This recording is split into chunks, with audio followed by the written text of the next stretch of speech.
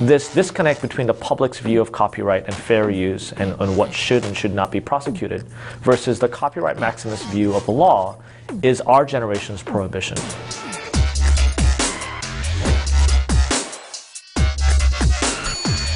Copyright exists to promote the useful arts according to the Constitution. But is it still doing that?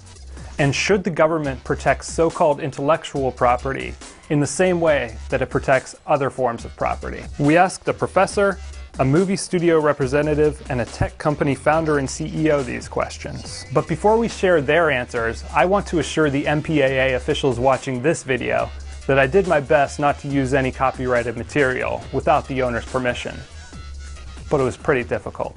Like, it'd be nice to use a clip from Steamboat Willie, Disney's first animated feature, when introducing this clip of Chapman University professor Tom Bell, who invented a non-copyrighted graph called the Mickey Mouse curve, which we'll talk about later. There are a lot of people who equate copyright to property. And although there are similarities, I think that's a mistake. As soon as we start using the word property for copyright, we end up taking less seriously our property rights in things like cars and houses. But some people think copyright is the same as property. The Motion Picture Association of America put out that famous ad, which we can't play here because it might be a copyright violation, that says, You wouldn't steal a car. Downloading pirated films is stealing. I think there is a moral equivalence be between you know actual shoplifting of a physical object as opposed to uh, you know downloading say a movie uh, you know, without paying for it. When you steal a candy bar or a car, you've left somebody without something to eat or something to drive. If you make an unauthorized copy of a movie, it may be illegal, maybe it should be illegal, but it's not theft, not in the same way that stealing property is theft. Because why? Because the studio still has their movie. They don't make as much money as they want, but they still have not suffered theft. We can get into semantic debates about whether or not uh, one qualifies as quote unquote stealing uh, or not. But the fact is that it's wrong and it hurts uh, creators and ultimately it, it, hurts the public because if this kind of piracy is allowed to run rampant, uh, it'll deprive the public of the next great film. The heated battle over the Stop Online Piracy Act, SOPA, represents the most recent clash over the proper scope of copyright. After a massive online revolt led by tech giants like Wikipedia and Google, Congress took notice and killed SOPA and its Senate counterpart, PIPA, I think that we had a very close call. Um, I think SOPA and PIPA almost um, went by undetected, uh, and that would have been pretty damaging to the internet. Ben Huh is the founder and CEO of Cheezburger, home of lolcats, failblog, and other internet favorites that were the subject of what became the anti-SOPA movement's protest song. Every login was refused the day the lolcats died. The more you read the bill, the more alarming it became. Every single provision was like, I can't believe they're writing this. Our web means more than lawyers, lobbies, and lies. So speak up before the internet dies. But Schaffner says that worries about SOPA's reach were overblown. These were narrowly targeted bills at a specific kind of foreign, what we call rogue websites. These are basically so websites that do nothing else except distribute uh, infringing material. But sites like Google, Wikipedia, and Cheezburger protested the bill because they feared unintended consequences that might result from the broad language in the bill's text. We actually have an Austrian domain name. And in fact, according to the bill, that would be considered a foreign, foreign site. And if that site posted material that was potentially infringing a copyright, in their view, um, they would not require a, a, a, verdict from a court of law in order to go pursue that domain. So we, as a US company, would fall under the jurisdiction of this bill. This is one in a long, long string of what we call copyright maximism. And in fact, when you look at copyrights in a maximist view, almost everything we do is copyright infringement. How did copyright law become so far reaching?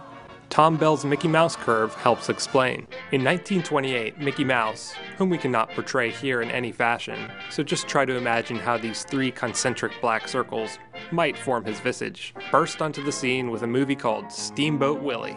Which we also can't play here. In the following years, Mickey Mouse became a star and, in fact, the face of a giant, powerful, beloved corporation, which presented a problem when the then 56 year copyright term on Steamboat Willie was approaching expiration. But Congress signed a 1976 Copyright Extension Act, which kicked in all too coincidentally just in time to save Mickey from the creative clutches of his would be filers for another 19 years. Mickey's time was running out once again when the Sonny Bono Act saved the day by extending the copyright life of works of corporate authorship to a remarkable 120 years. Mickey remains in safely white gloved hands until at least 2023. The world's first copyright law protected works for only 14 years. If the copyright was 14 years, you would see Star Wars in the public domain. Imagine the amount of creativity, imagine the amount of new business and, and new content and new jobs that would create.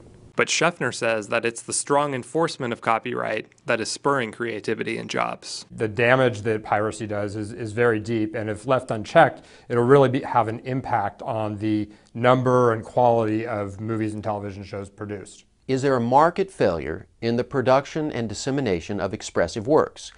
If we see a real deficiency in that area, boy, we better take action.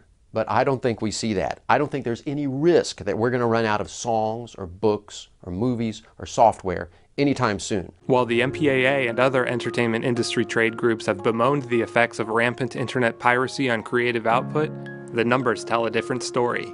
Research shows more music and books produced than ever before between 2005 to 2010. Production of feature films growing by a factor of more than 4 in 14 years, and the number of video game companies exploding by a factor of 18 in the span of 3 years. Huh says the MPAA's focus on piracy is nothing more than a distraction. The actual thing that is killing the MPAA and the RIAA and the other people is the lack of alternatives for good people like you and me to get their content in the way that they need. I have to schlep myself out of my house, out of my PJs, waste gas, and then sit in a movie theater with a bunch of people who I don't know who are chewing and talking on their phones. Why can't you let me see first run movies at home? I'll pay you for it.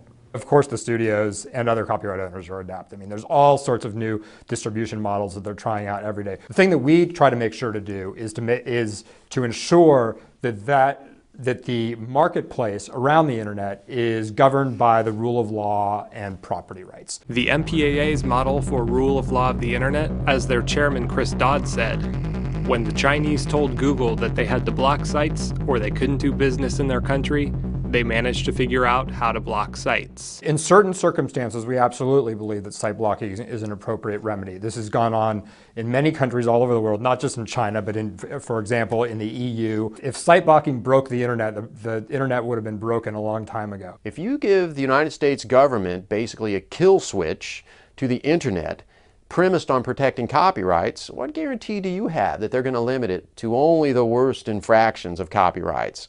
I'm afraid I don't trust our government that far. As the MPAA and other trade organizations continue to push for more government action to curb copyright infringement, Ben Huh believes that the fight is only just beginning. This disconnect between the public's view of copyright and fair use and, and what should and should not be prosecuted versus the copyright maximist view of the law is our generation's prohibition. The law no longer reflects what the society believes to be true. And I think that if they continue to go down that route, they're going to see even bigger backlash. And that's not, you know, something that I came up with. That's what American history tells us. Why, why are laws a thing you can buy? They got paid off, should be laid off, re-election denied. Our web means more than lawyers, lobbies, and lies. So speak up before the internet